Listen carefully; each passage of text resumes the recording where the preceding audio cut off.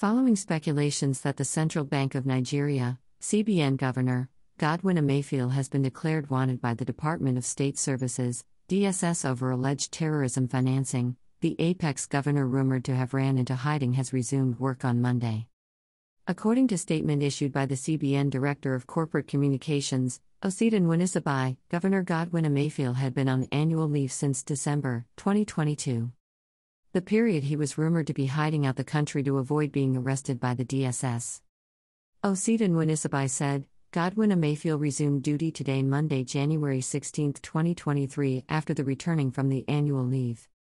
The governor, Central Bank of Nigeria, Mr. Godwin Emefiele, has resumed duty after his annual vacation abroad.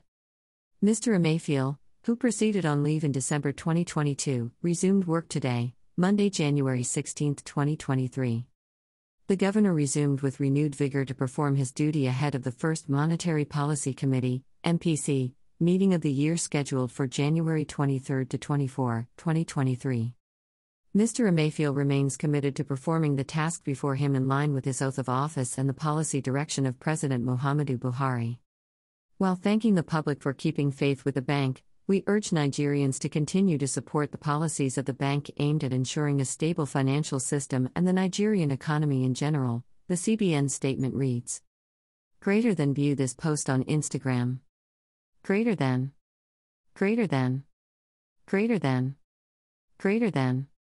Greater than a post shared by Central Bank of Nigeria, at Central Bank.